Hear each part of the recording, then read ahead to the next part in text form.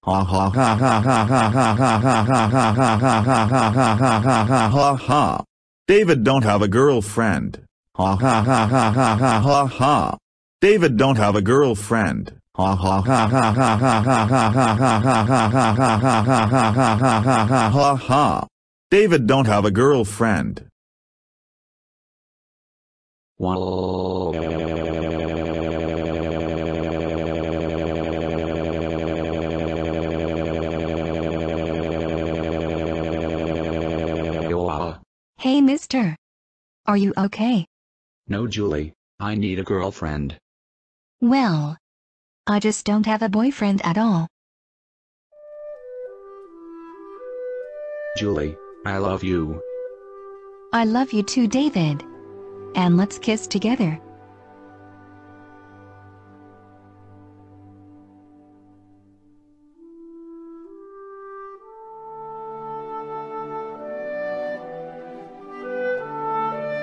Bye bye, Julie. Bye bye, David.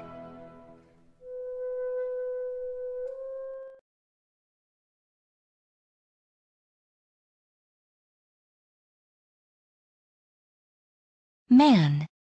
I cannot believe I got a boyfriend named David. Julie. Did I heard you that you got a girlfriend? Oh no. It's my parents. Julie. I can believe you got a boyfriend. That's it. You are granted granted for life. Now go to your room now.